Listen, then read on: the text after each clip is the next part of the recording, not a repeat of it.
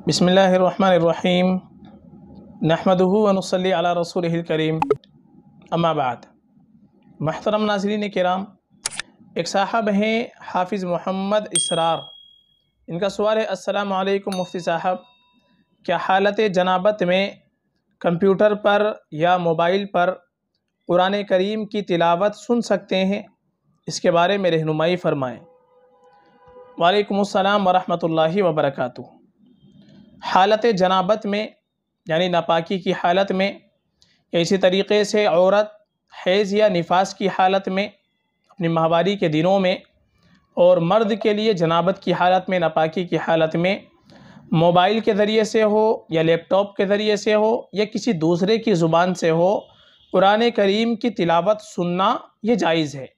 कुरान करीम की तिलावत सुनने में कोई हरज नहीं है। हाँ अलबत्ता जब तक इंसान नापाकी का गसल ना कर ले, उस वक्त तक कुरान करीम की तिलावत करना, मोबाइल से करे या लैपटॉप से करे या कंप्यूटर से करे या कुरान मजीद से करे डायरेक्ट, कुरान मजीद की तिलावत करना जायज़ नहीं है। लेकिन सुनना ये जायज़ है, सुन सकते हैं। बाकी उसको अपनी ज़ुबान से अदा नहीं कर सकते। ज़ुबान से कुरान करीम को अदा करना नापाकी की हालत में ये बिल्कुल जायज़ नहीं है। हाँ कोई इंसान हमारे सामने कुरान करीम की तिलावत पढ़ रहा हो वो तिलावत हम सुन सकते हैं।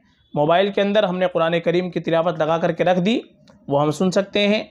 या कंप्यूटर के ऊपर हमने कुरान करीम की तिलावत लगा करके रख दी, वो हम सुन सकते हैं। तो कुरान करीम की तिलावत सुनना तो जायज़ है, लेकिन कुरान करीम की तिलावत करना या अपनी ज़ुबान से पढ़ना ये जायज़ नहीं है।